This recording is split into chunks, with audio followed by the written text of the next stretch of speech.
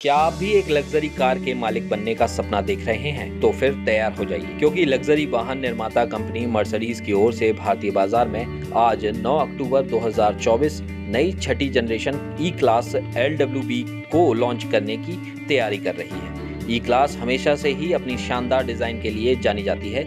Slick headlamps बड़ी grills और star pattern इसे एक अलग पहचान देते हैं। अगर आप ध्यान से देखें तो आपको इसमें मेबैक की कुछ झलकें दिखाई देंगी।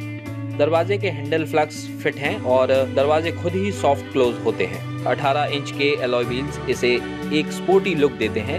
इंटीरियर्स में आते हैं तो आपको कई स्क्रीन नज़र आएँगी। डैशबोर्ड पूरी तरह से डिजिटल है और इसमें एक छोटा कैमरा भी मौजूद है, जिससे आप सेल्फी ले सकते हैं या वीडियो कॉल भी कर सकते हैं। पीछे की सीटें बेहद आरामदायक हैं सॉफ्ट पिलो हैंड रेस्ट और थाई सपोर्ट एक्सटेंशन आपको एक प्रीमियम अनुभव देता है। नई क्लास में पेट्रोल और डीजल दोनों इंजन के विकल्प मौजूद हैं। दोनों ही इंजन 48 वी हाइब्रिड सिस्टम से लेस है, जो एक बेहतर परफॉर्मेंस देता है। सुरक्षा के लिहाज से इसमें आठ एयरबैग्स और कई तरह के एडास फीचर मौजूद हैं। इसकी कीमत लगभग 80 से तिरासी लाख रुपए एक्स शोरूम के बीच होने की उम्मीद है।